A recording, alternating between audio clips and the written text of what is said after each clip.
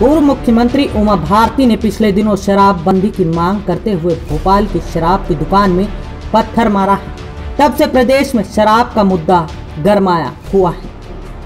उज्जैन और विदिशा सहित प्रदेश के कई हिस्सों में शराबबंदी को लेकर प्रदर्शन हो रहे हैं और महिलाएँ इसकी अगुवाई कर रही हैं। पर आपको ये जानकारी हैरानी होगी कि मध्य प्रदेश में महिलाएँ ही सबसे ज़्यादा शराब पीती हैं।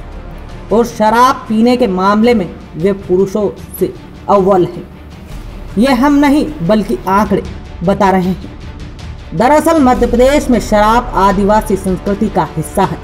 स्वास्थ्य मंत्रालय द्वारा पाँच साल के अंतर से कराए जाने वाले नेशनल फैमिली हेल्थ सर्वे में यह बात सामने आई है कि शराब शहर से ज़्यादा गाँव में पी जाती है।